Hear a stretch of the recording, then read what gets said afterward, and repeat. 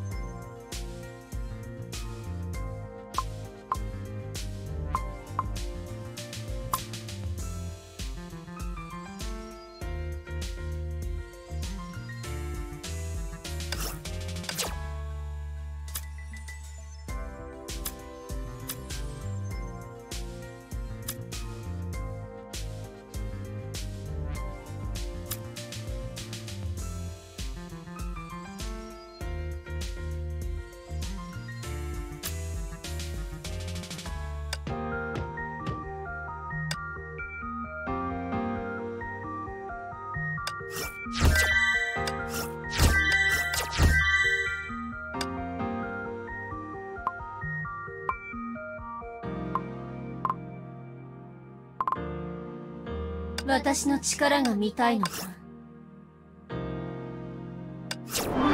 力がみなぎってくる。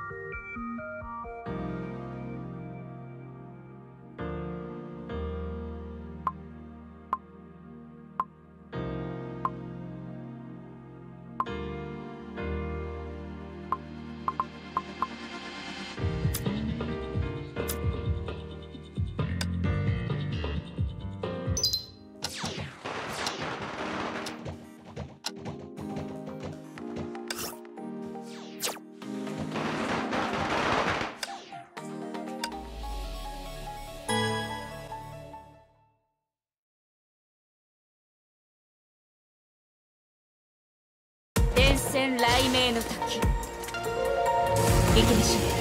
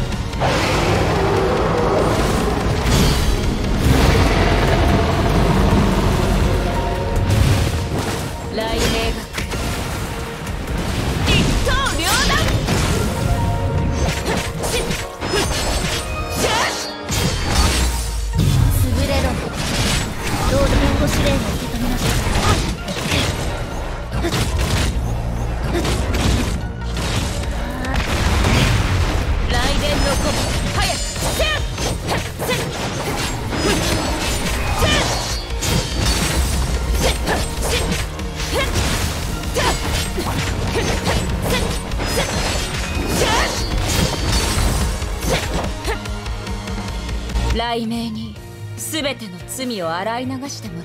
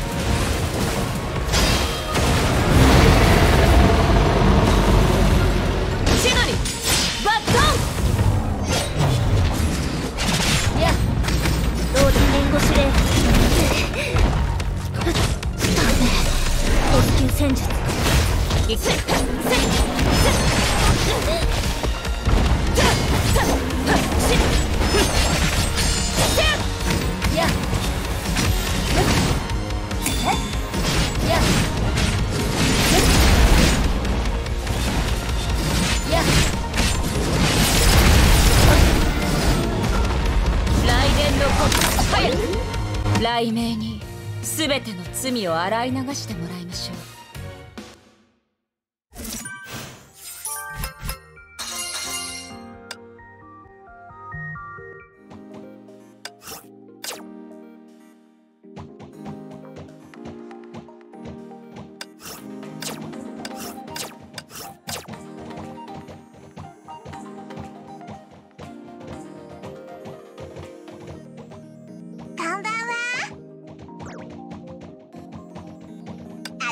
前にひれ伏しな。たまには踊るとしよう。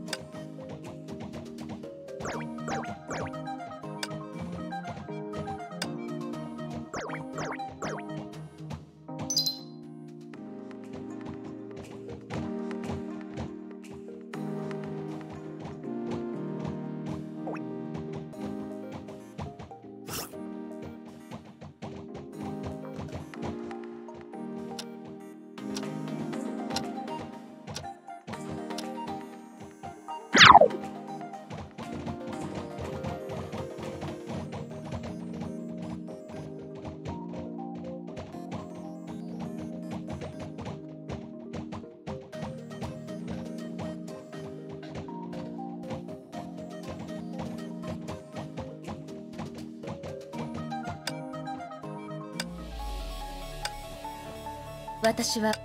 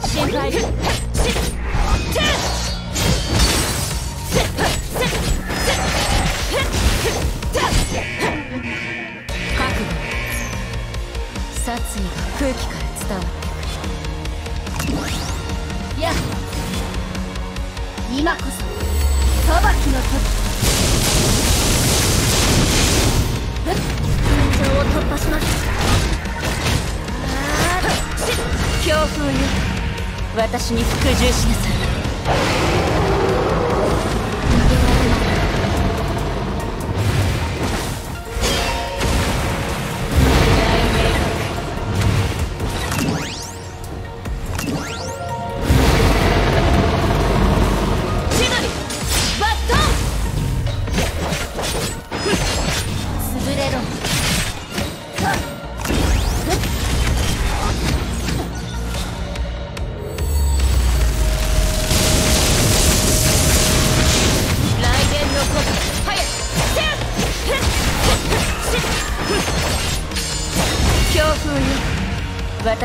服従しなさい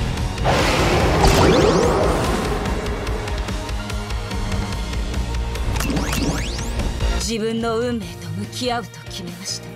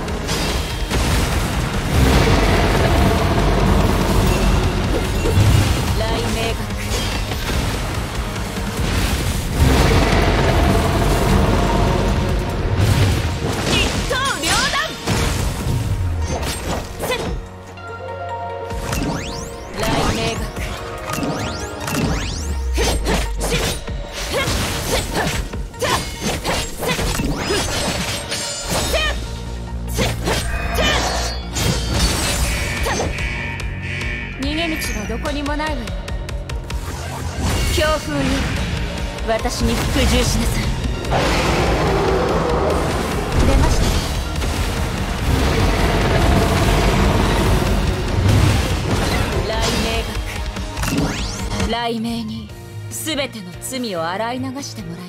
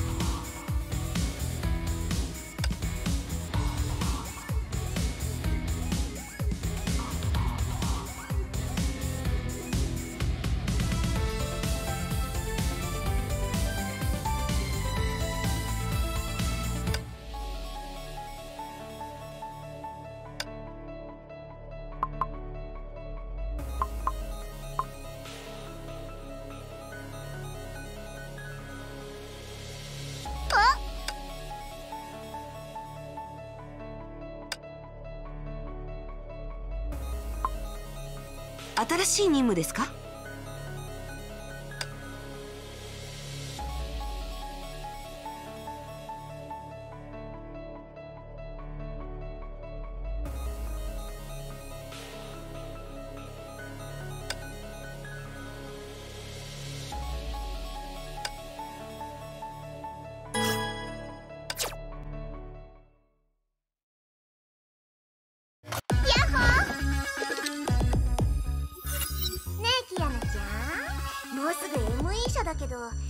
潜入準備はできてるのもちろんできてるよ。ってあれ？なんで今回はテレサの式なの？姫子おばさんは？誰がおばさんだって？これで2回目よね。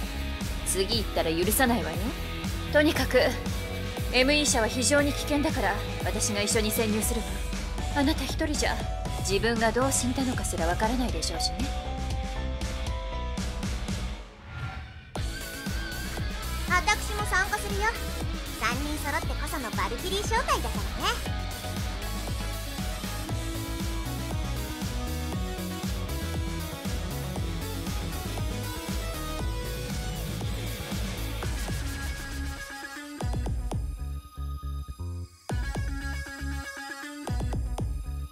笑みで十分よ。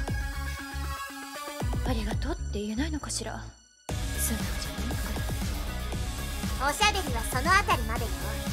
任務開始前に現在の状況を説明する情報部門が確認したところネゲントロピーにさらわれたメイフローニウェンディの3人は現在 ME 社の本社ビルに閉じ込められているの。残念なことに天命は今ネゲントロピーに宣戦布告する用意ができていな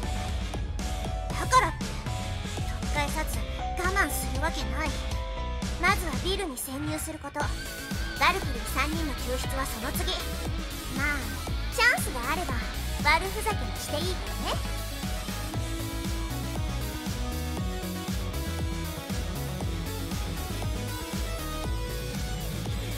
了解。最後の一言はシスターが言うことじゃないですよ。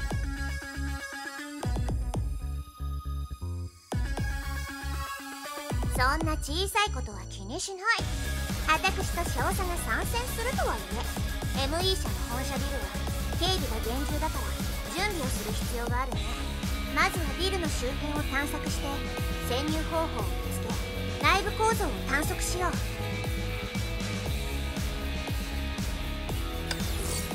本気で私に勝てると思ってやめ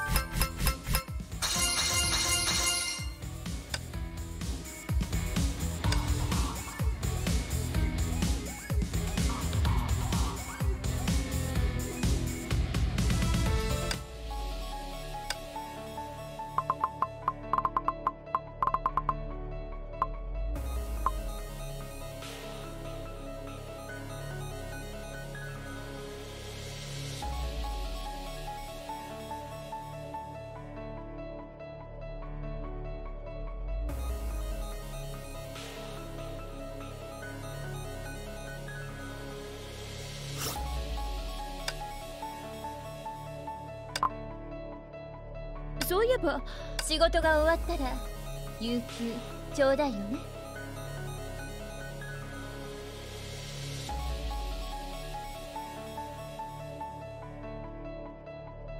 バルキリー姫子参上。ご命令を。私がどんな敵でもほふってあげるわ。信頼してくれてありがとう。仕事が終わった。そういえばもともとハイペリオンは私の船なのよ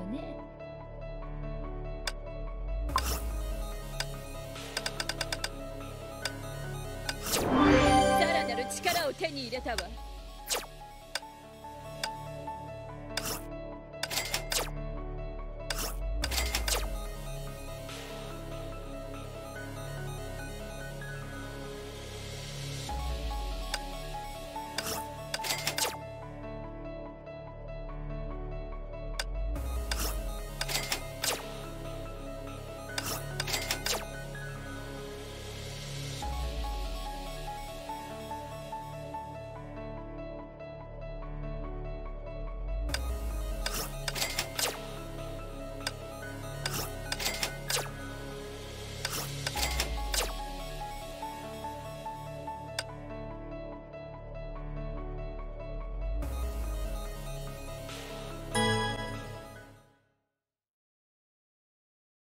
の出番ね。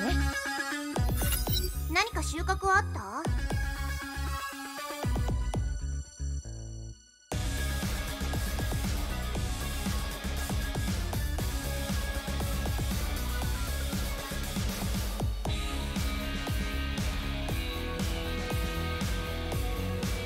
いえまだです。ME 社のビルは本当に鉄壁ですね。全ての通路に強力な守備部隊が配置されていますそう簡単には潜入できないってことね。そうだ学園長。一つ質問があるんだけど。前にニュースで ME 社の CEO はライデン龍馬だと聞いたことがあるんだけど。あれはメイ先輩のパパでしょ？どうしてネゲントロピーはメイ先輩を父親の会社に閉じ込めているのかしら？ああ確かにそうね。それにしてもまさかキアナもニュースを見るとはは限らないよ。ちょっと待って。この話題ってデリケートなもの？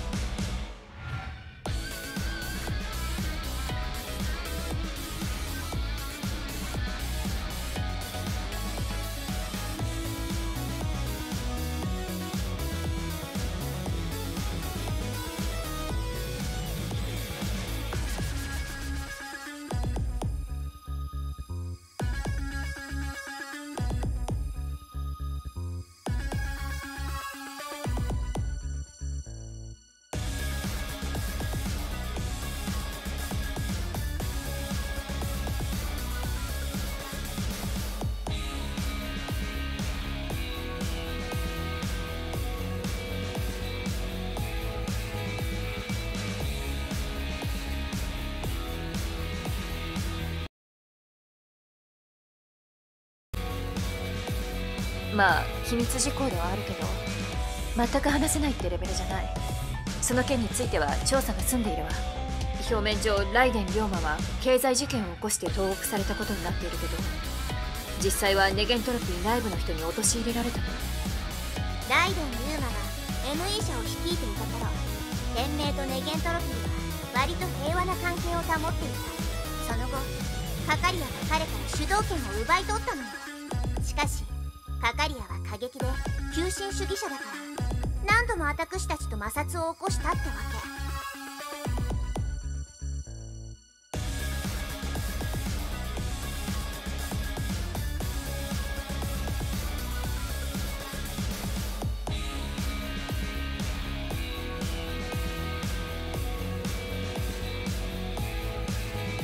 今回の事件もカカリアが計画したものでしょカカリアその名前どこかで聞いたような。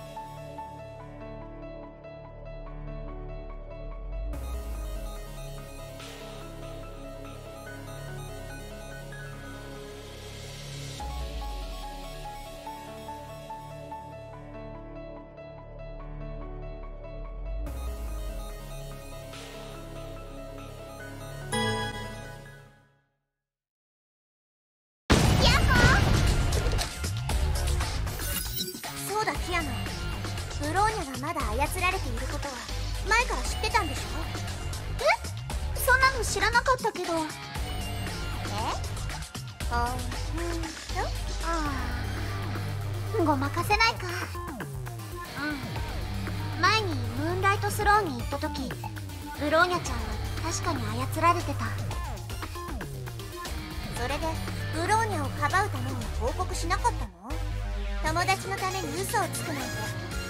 当にかすらなきゃの家風だねあなたの間抜けなお父さんをちょっと思い出したあいつはよく言ってたよ傷ついた人を見かけたらかすらなきゃの血が騒ぐってねそしてすぐ熱くなる。確かにパパの口癖だ。やっぱりネゲントロピーの連中が悪い。ブローニャちゃんにこんな改造をするなんて。から弁明は正義だって言うの？賢明だって。バルキリーの体を改造して崩壊と戦えるようにしてるけど代償として身体組織を崩壊エネルギーに侵食されているわけでしょ？身体能力の低いバルキリーはとても若いうちに死んじゃう。それは前に聞いた。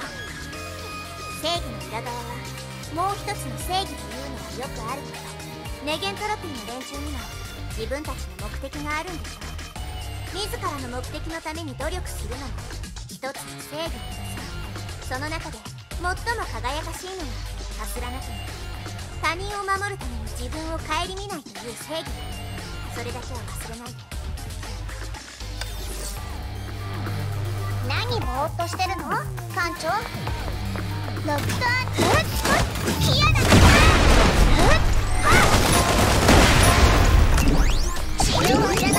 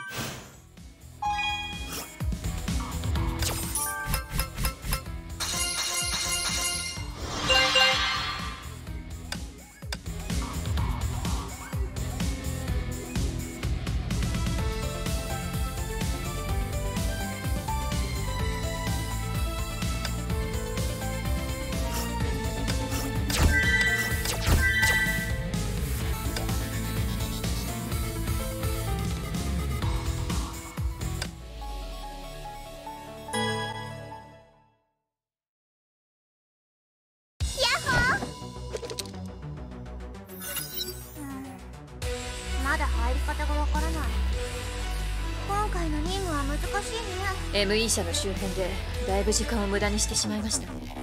このままではネゲントロピー部隊に見つかってしまいそうですからまずは一時撤退しましょう。ダメ！このまま帰ってたまるか！帰らないから！私一人になったってメイ先輩を助けに行くんだから！イヤナちゃん？熱くなりすぎると何事もうまくいかないよ。そうです。落ち着いてください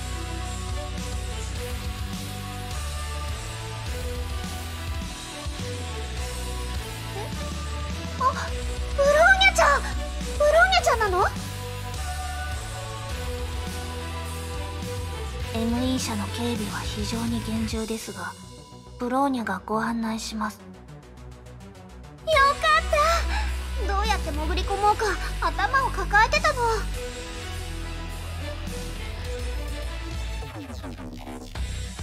待って信じられないわ。以前この子が操られていたからメイがさらわれたのよ。しかもなぜこのタイミングで迎えに来たの？姫子少佐ブローニャを信じてくださいブローニャはただメイ姉様を救いたいだけです。姫子話し方からしてブローニャちゃんは操られてないみたい。それにブローニャちゃんは私たちよりメイ先輩を救いたがってるはずだよ。本当にしょうがないわね。どのみちみんな決死の覚悟はあるんだから博打だと思っていこう。ではまずビルの C7 ゲートに急いでくださいロックアウトローでなめるなよこんなこのボロボロなやつ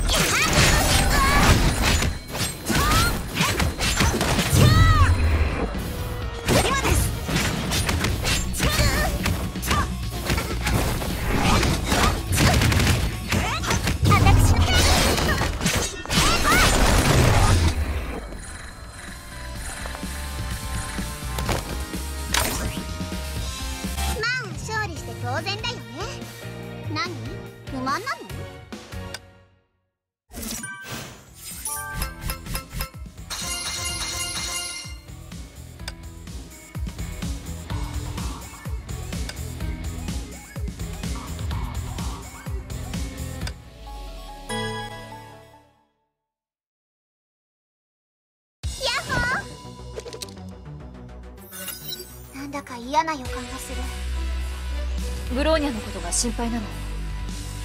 確かに。罠の可能性が高いわ罠だとしても心配ご無用。私がいるからね。罠だと判明したらすぐ壁を破って逃げ出せばいいのよ。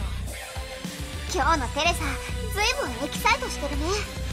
自分で任務を遂行するのがかなり久しぶりだからじゃないかしら。そういえばテレサもバルキリーだったんだね。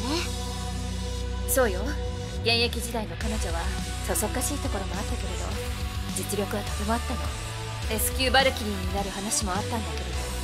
その原因は姫子少佐おしゃべりはそれくらいにして要は私がすごいってこと。をヒアナが知ってくれればいいんだよ絶対メイ先輩に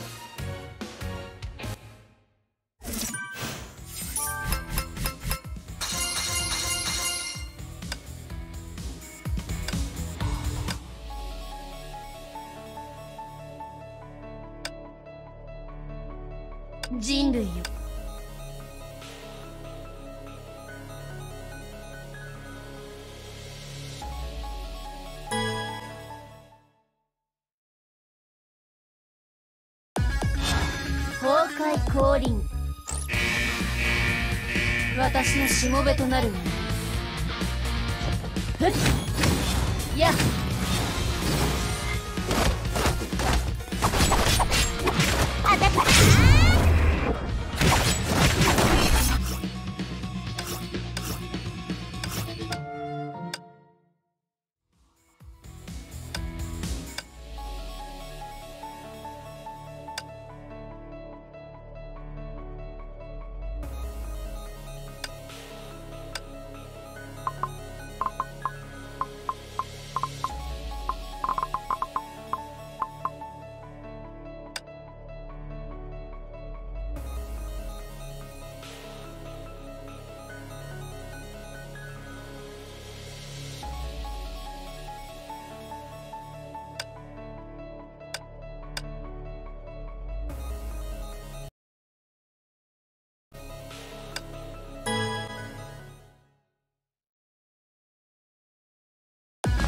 務開始します。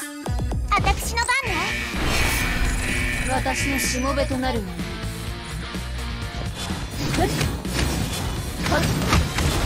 やや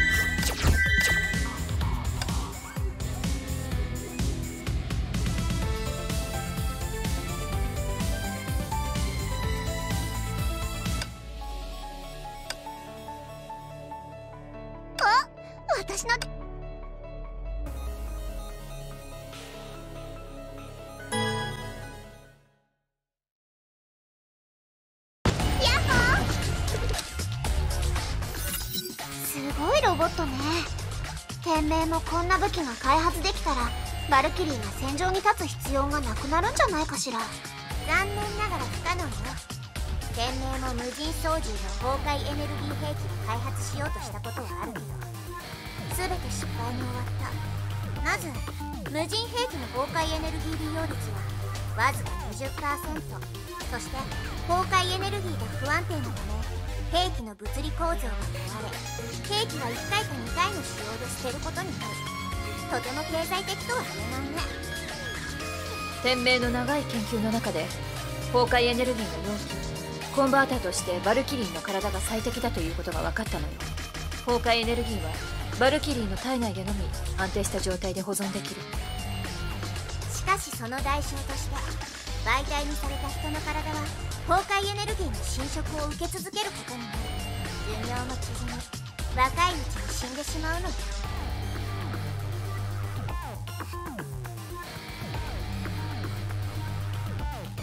え？そんなこと知らなかったよ。まさかネゲントロピーのやり方の方が正しいの？ネゲントロピーの崩壊エネルギー利用率はずっと天命より低くて大量の資源を投入しても利用率は20%しかない。でも人間を媒体として大幅に使おうとはしていない。ネゲントロピーを創設した年よりは天命より人情味のある人だったからですね。まったく。残念。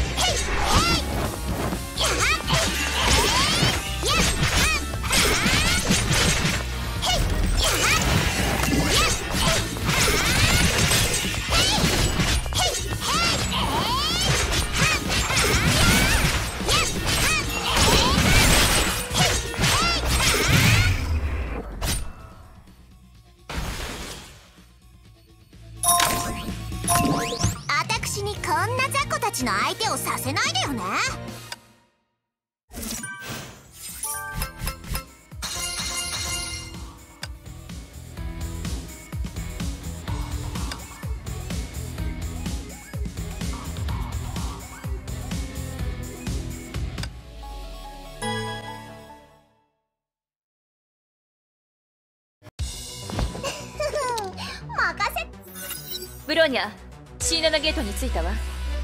パスワード XCVF 権限認証ドアオープン。開いた。やった。ビルに入ってからはもっと注意しないと。ブローニャはあなたたちにビルの地図を送ります。メイネー様は3階の実験室の中です。ブローニャがその実験室のドアを開けますので早く向かってください。現在研究員がメイネー様を解剖し体内から律者のコアを取り出そうと準備を進めています。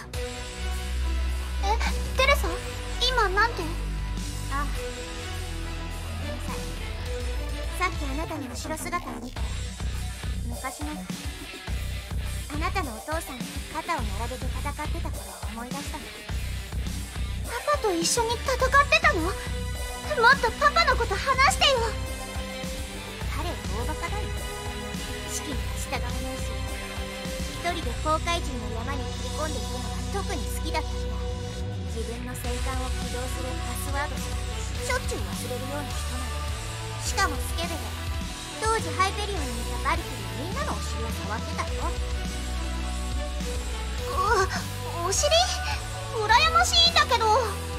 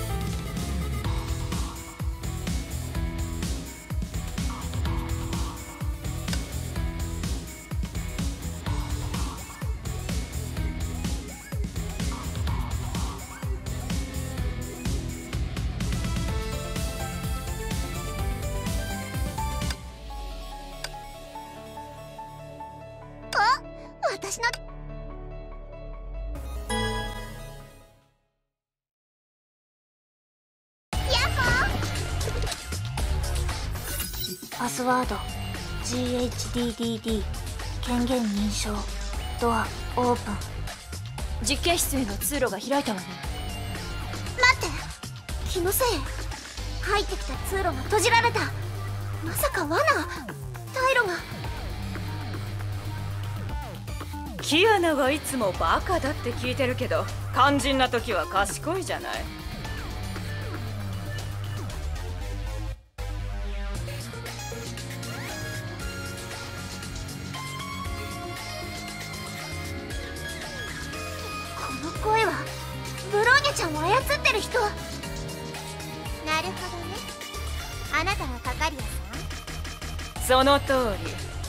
がかかりやよ。そちらはテレサ・アポカリプス？おやおやまさかの大物がお出ましなのね。優秀な戦士だったと聞いていたけれど軽率にもこんな罠にはまるとは名ばかりのようね。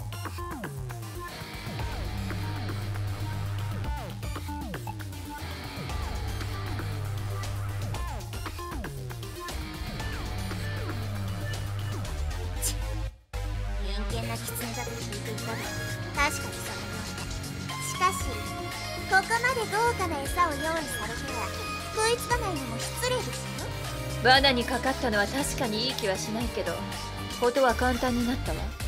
実験室に入りメイを救えばあとは脱出の道を作るだけ。ME 社ごと破壊してあげるわ。まだそんな大口を叩けるのね。大口かどうかはすぐにわかる。わじゃあ実験室でおもてなしするわ。来る途中で命を落としてがっかりさせないことね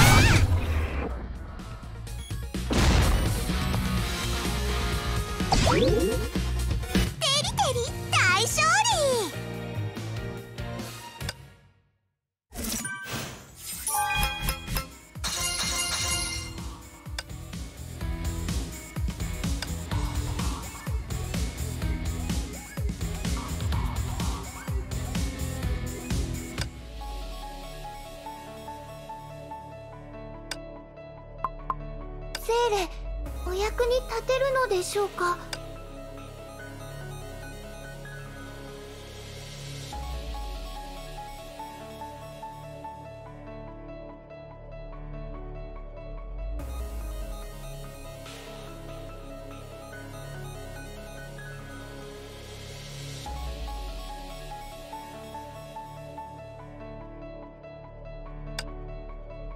私の力が見たいのか？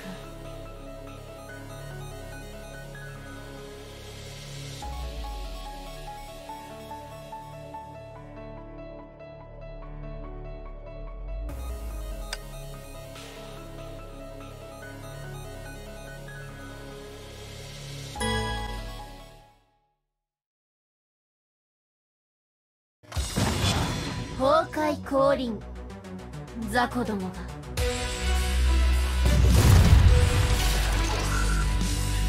口ほどにも。なっ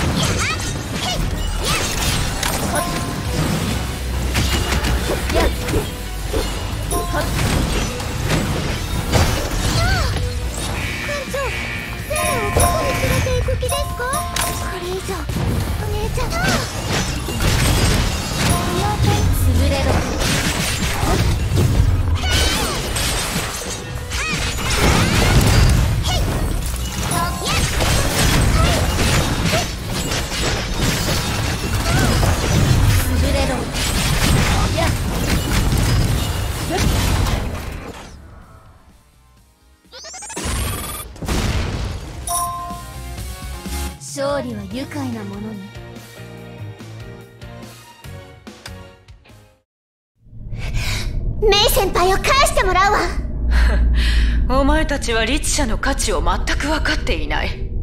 奴らの自然を操る力の源さえ解明すれば人類の科学技術も飛躍的に進歩することになる。ブローニャ奴らを仕留めなさい。ブローニャちゃん操られるな。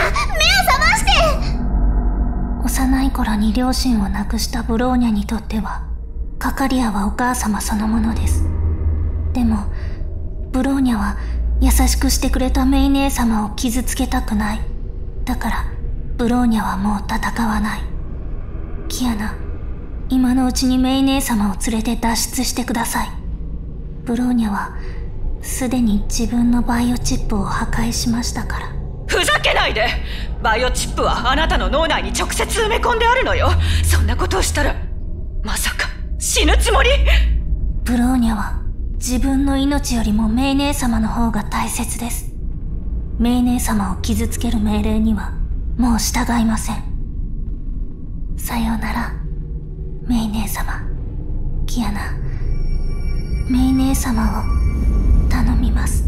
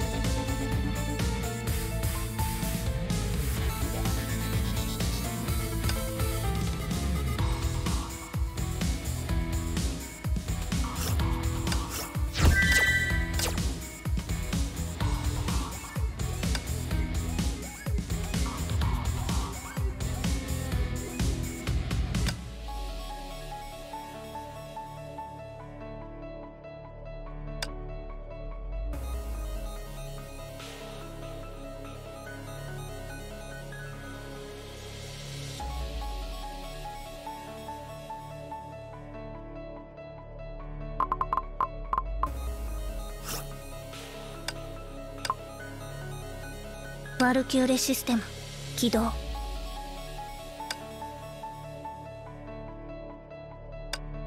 重曹ウサギ 19C 今は休んでるバブローニャの意識は肉体とチップどちらにあるのでしょう？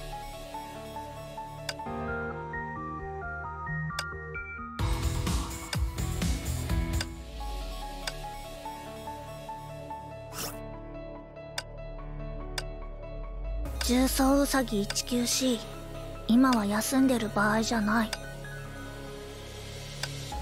ブローニャの意識は肉体とチップ。どブローニャは戦うこと以外ブローニャの意識は肉体とチップ。どちらにあるのでしょう？重曹ウサギ 19C 今は休んでる場合じゃない。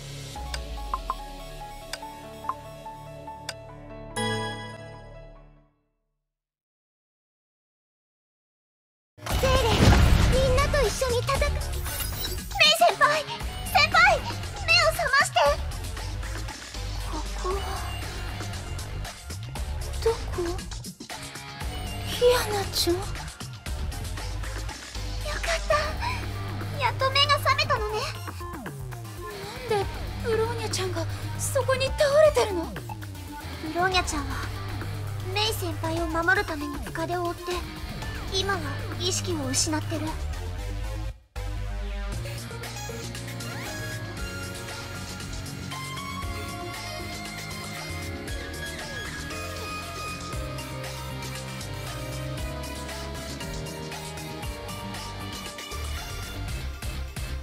うしてこんなことに？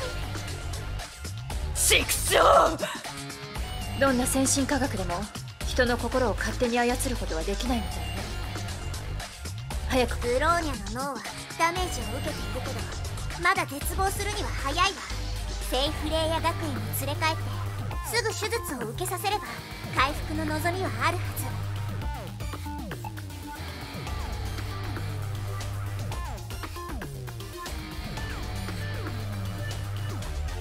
ず。そう簡単に出られると思ってるの？まあいいわ。どうせ第四律者がまだいるから。実験を早めることにしよう。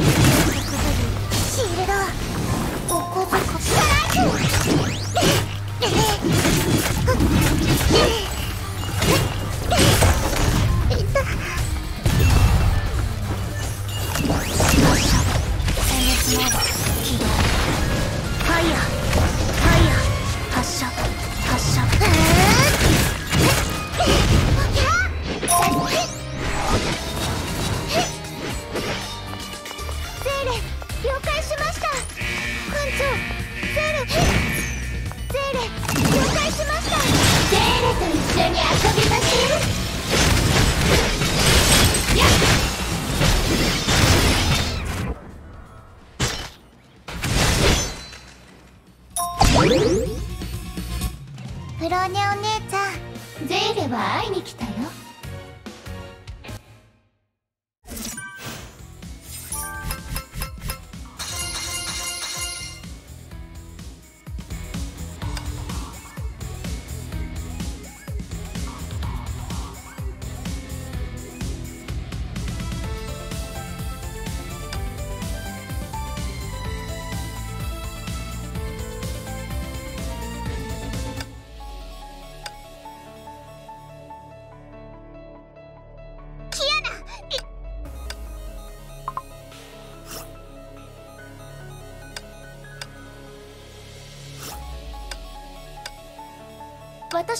んですか？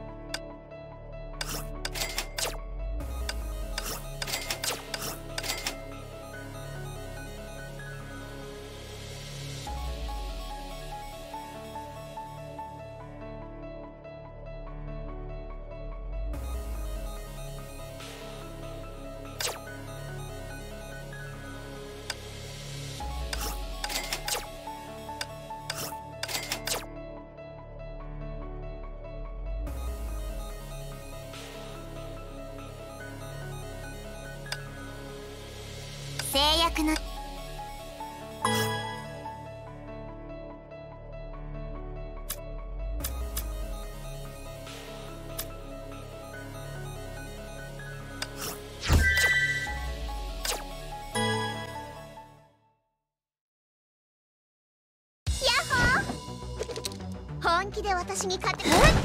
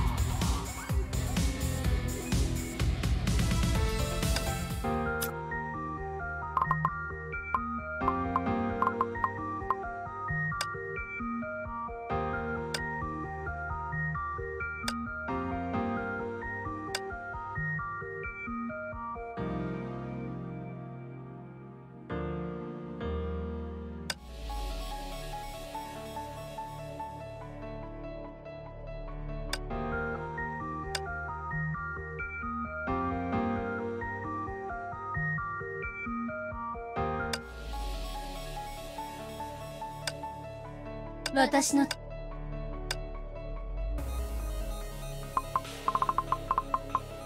ワルキューレシスト。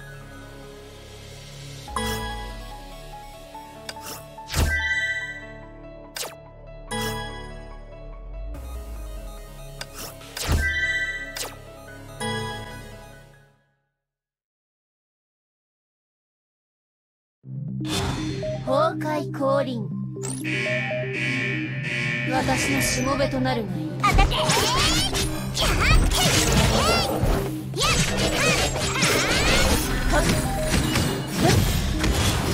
ヤッハッハッハッッ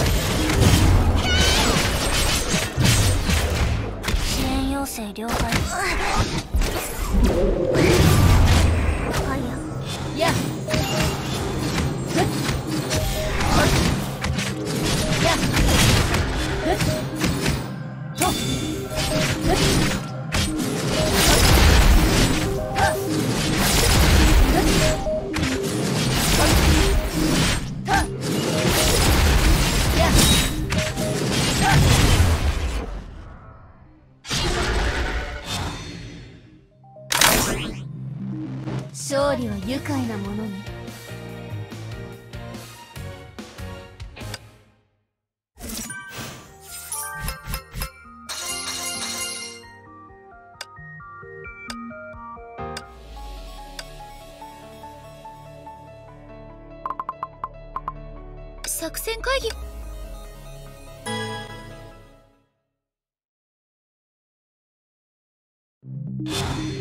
界降臨。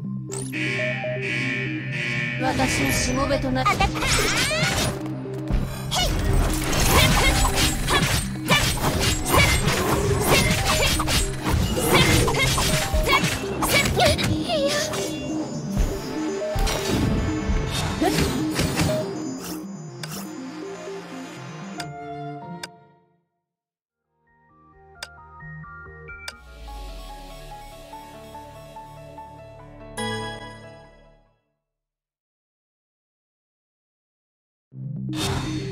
界降臨。私のしもべと。あたた私の番ね。セッフ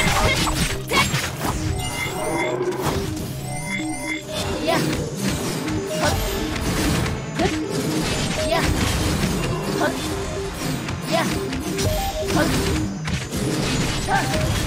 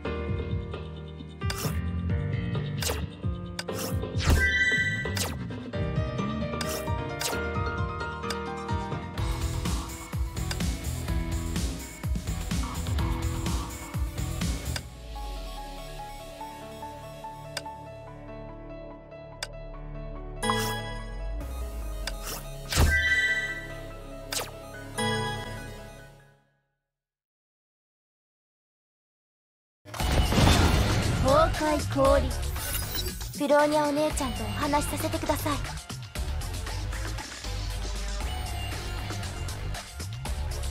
ディなんで通信にアクセスできるの？どこ？今助けるから。分かったんです。残念だけどブローニャは怪我していて通信ができないの。何か話したいことがあるなら代わりに伝えるよ。ニュージーランドでブローニャお姉ちゃんが私を攻撃してきたのは操られてたからです。私はもうその真相を知ったと伝えてください。私恨みませんから。もう会える機会がないかもしれませんが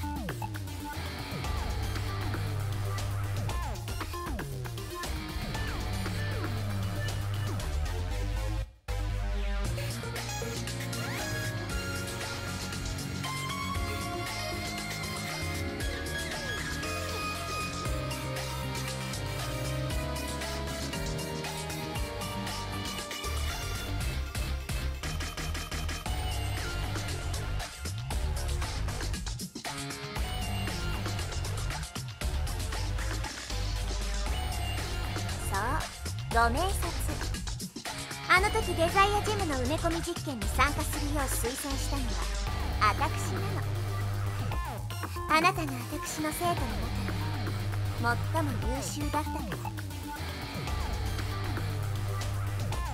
らやはりそうなんですか。謝っても仕方がないことは分かっている。より多くの人を守るために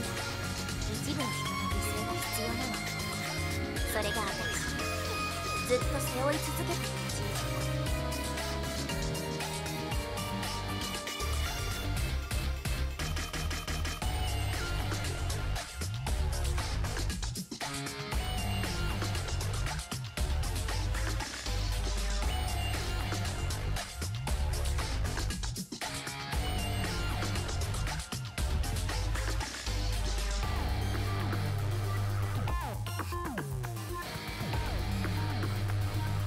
先生はずっとそうですね。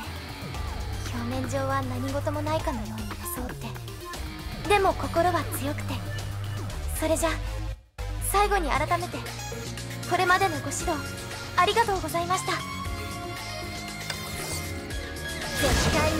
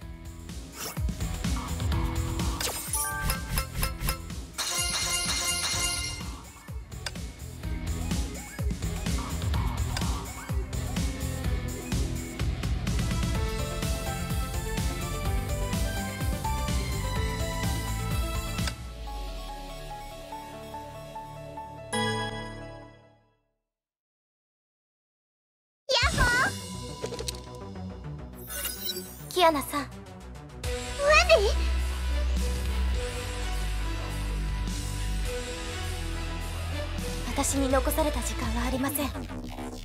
最後にお話ししておきたいことがあるんです。よく覚えておいてください。何日か前デザイアジェム内部の崩壊エネルギーの力で歩く力が回復しました。その崩壊エネルギーの力でブローニャお姉ちゃんを回復させられたらもしもしデザイアジェムを手に入れる機会があったらどうか通信が切れちゃった。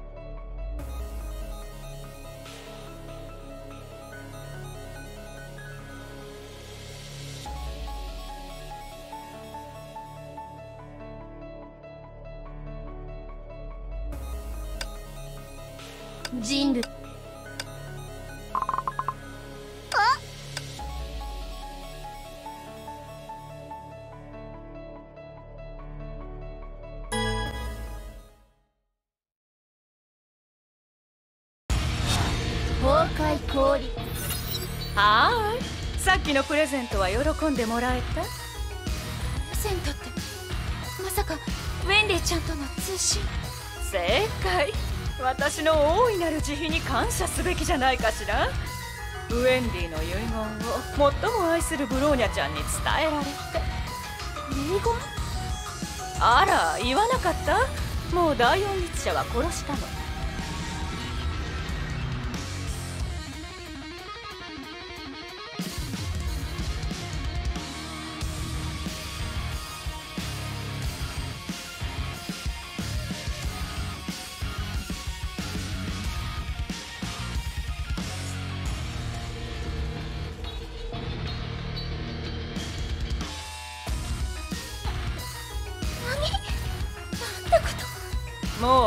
体内から崩壊エネルギー結晶は取り出したわその取り出したって使えないでしょ？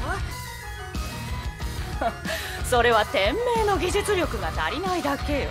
私たちはとっくにデザイアジェムを機械に使う技術を開発したわ。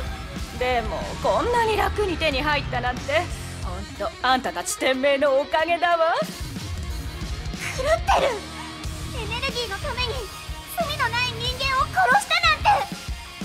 ら天命に復讐するのが彼女の願いだったのよ。代わりに実現してあげただけ。それだけじゃなく最後は最愛のブローニャちゃんともお話しさせてあげて。まあ残念ながらその言葉ももう届かないようだけど。デタラメ言わないで！キアナちゃん気をつけて。こんな大きなロボットが動かせるなんて信じられないわ。じゃあね私の新しい作品にせいぜい遊んでもらって。そうそうこの子の名前は MSR7 デウスたっぷり実験データのサンプリングさせてちょうだいね。じゃあよろしく。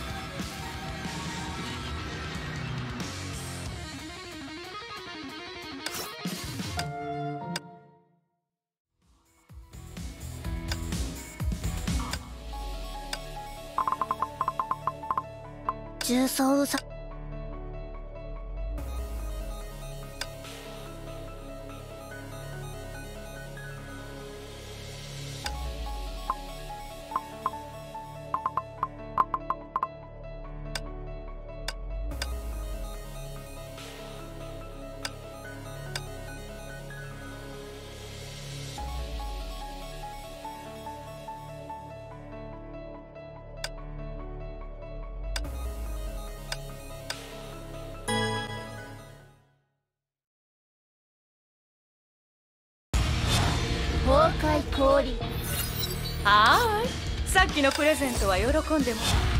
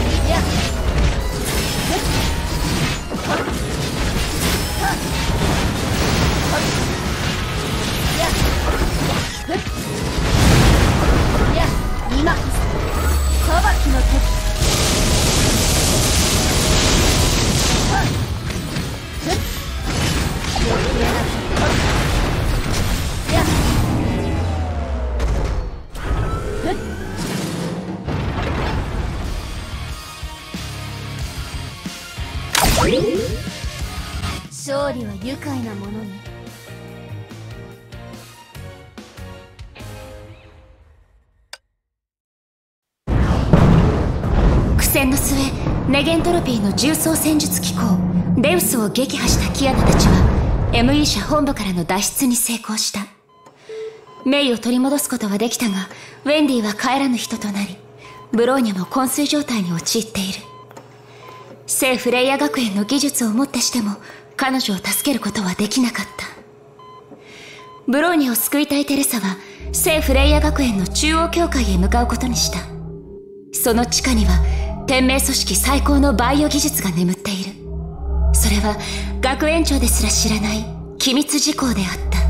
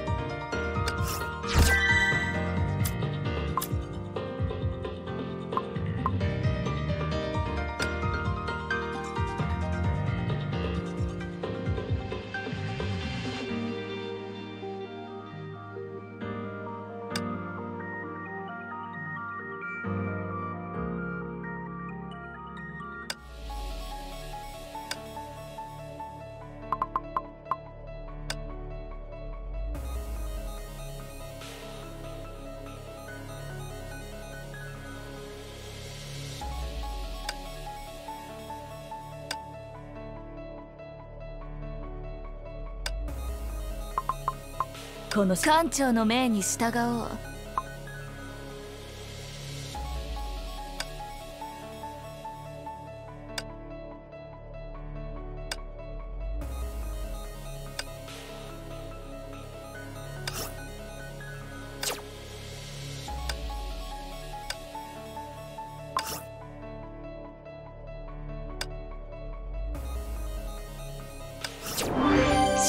試験はうまくいったようじゃ。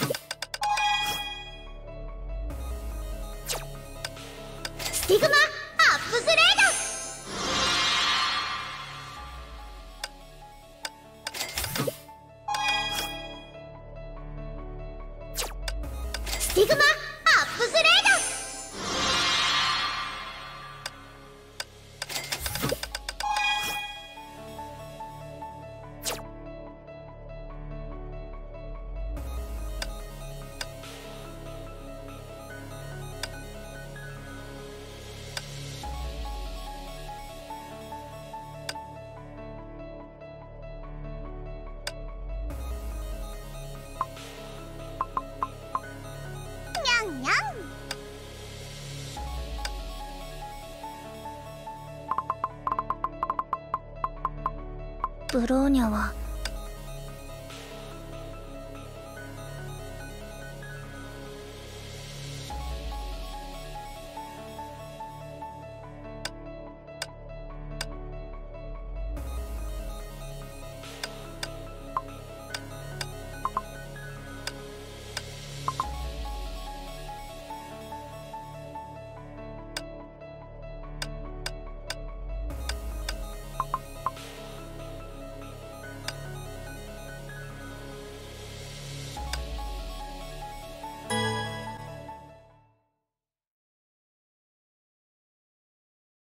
秘儀準備完了。えいえい。